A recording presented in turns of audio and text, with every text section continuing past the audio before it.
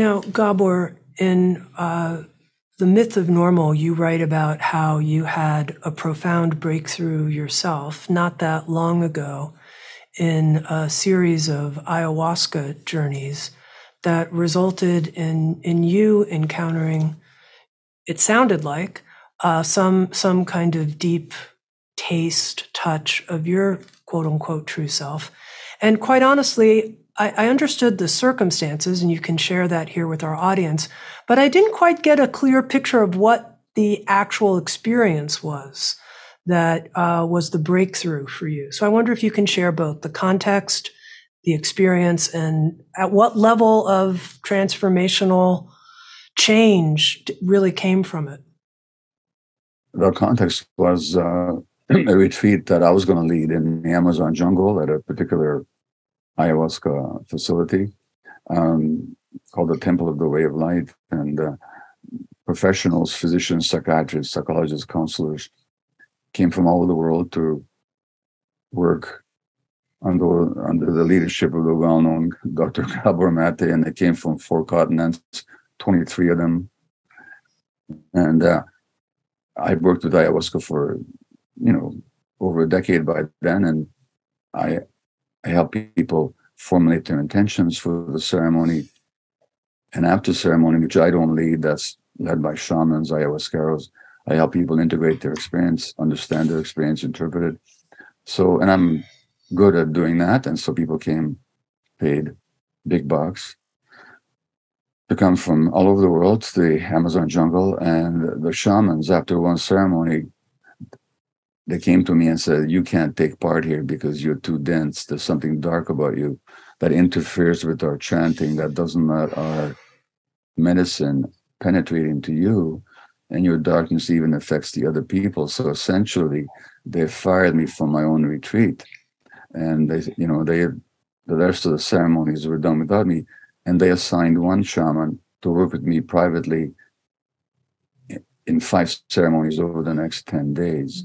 So it was both a humbling and a liberating experience because I arrived there very stressed, overworked, and they were quite right. And but furthermore, Tami, they said, we sense two things about you, and you have to understand they didn't know who I was, what I'd done, who I am in the world, my achievements, nothing. They just saw me as the person who was in front of them at that time. And they said, There's two things about you that we sense. One is that we think you worked with a lot of trauma in your life and you, and you haven't cleared that out of yourself. And secondly, we think when you were very small, you had a big scare in your life, early in your life, and you haven't got over it yet. So that's the context. And, okay.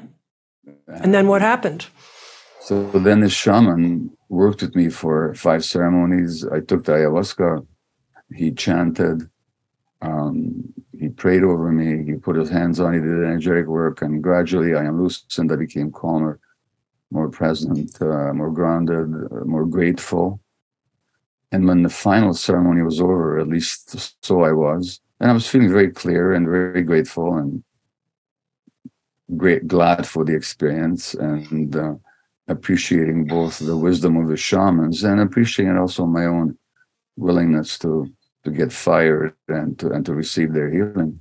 I thought it was finished, and all of a sudden, I was thrown on the mat by some force, and then for the next two hours or more, um, I just journeyed. And this is where I have no words because I don't remember much of the journey except that I was gone far away. And I remember the vision at the end of it um, that I shared in the book, where the Hungarian word. Uh, no, I don't think I don't think in Hungarian. I don't dream in Hungarian. So this came from very deep within me, and in a blue-like sky, in letters like wisps of cloud, the word Hunga- the Hungarian word B O L D O G, uh, boldog, were spelled out, and I saw it in my eyes, and I realized that all that stuff that had happened to me need not define my existence that all that had happened to my family, all that happens in the world, painful, distressing, tragic, traumatizing as it all can be, it doesn't have to define who I am or my future or my relationship to life, or my relationship to myself, or my relationship to anything. So it was a liberation from the past, is what it was. But that's the closest as I can come to describing it because it would take a better poet than I am to, to give it words and some of the, you know, some of the great poets and spiritual teachers can find the right words. By the way, I'm not comparing my experience to. Sure. I'm just saying that I don't have the words to say much more about it besides what I've just shared or share in the book, except to say I wouldn't want anybody to believe that I had that experience and I came back a changed man. I mean, I did have a glimpse of something, I had an opening to something, but believe me, two months later or a week after I got home from that trip, I started writing a book and I plunged right into despair. So it, it, it, it was and it remains an essential experience for me. But again, you have to emphasize the importance of integration and constant reintegration of those experiences into our lives. And I think the same is true for any spiritual experience with or without psychedelics. And the Hungarian word that you saw spelled in the sky means happy. It means happy. There you go. Which is not a not a word that easily came to my mind when I ever thought about myself, you know. No, probably not the first word uh, most people uh, w- would use either, uh, but for you. But there you go, uh, uh, a gift to you, happy in Hungarian. Now, as someone who knows a lot about uh, neurology and what's happening in our hormonal system, what was going on during these ayahuasca ceremonies in terms of creating this kind of access. And I'm particularly interested, Gabor, because most of us won't go to South America and spend X number of thousands of dollars and have experiences like this. But how can we understand the the template, if you will, of the human journey so that we can access this this wisdom? Well, um, out of 33 chapters on the book, precisely one is on a psychedelic modality because the last thing I want to come across as is some kind of psychedelic evangelist. I don't think they are the answer, and I don't overemphasize. I mean, out of the eight healing chapters in the book, one is on psychedelics. So I think there's much more to it than that. But specifically, when it comes to psychedelics, there's no magic about it. There's no um, uh, miracle about it. I describe the experience of a woman with severe, life threatening, in fact, terminal autoimmune disease, who, based on her experience with psychedelics, has literally, she should have been dead years ago, according to the prognosis and her physical state prior to psychedelics.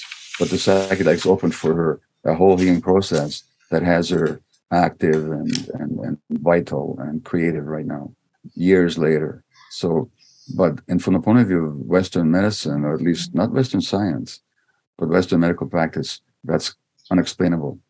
But there's nothing unexplainable about it, unexplainable about it when we understand the science. So I said earlier that mind and body can't be separated, and physiology is related to psychology.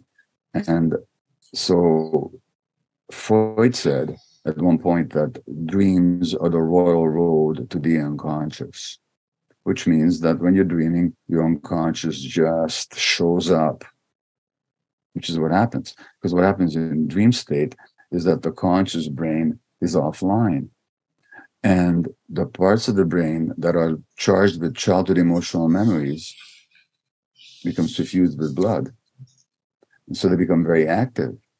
And then the mind makes up stories to account for those emotions. So, for example, if you're dreaming that Nazis are chasing you and you're afraid, it's not true that you're afraid because Nazis are chasing you.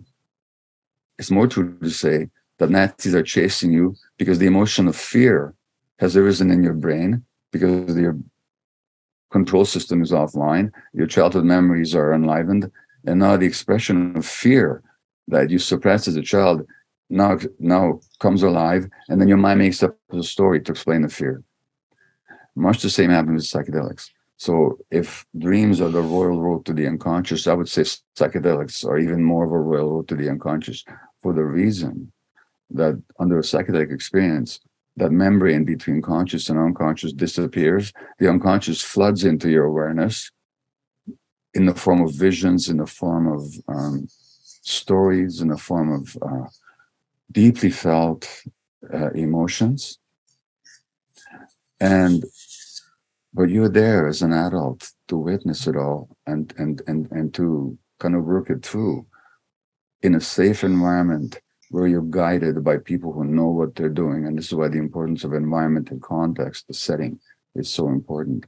And then if there's somebody like myself around the next day, then we can talk about it and you can actually interpret and integrate that experience even more deeply. So psychedelics remove that membrane and at the same time allow all that stuff that you've been suppressing to flood into your awareness. What, what can also flood into your awareness has happened with me in that very last experience with that picture in the sky that I talked about is your authentic self can show up, which has been covered under layers of suffering and layers of defenses and adaptations and so on. So you're in a position, ideally speaking, to both come to terms with your suffering that you had repressed, but also with that self that you had lost contact with. So that's kind of an idealized nutshell um, summation of the psychedelic experience when it works. Uh, there's different psychedelics, of course. You can't put them into one basket. That's ayahuasca with ibogaine. You'll have a different experience with MDMA mushrooms, you'll have a different experience. But essentially, common to them all is the lifting of the veil between the conscious and the unconscious.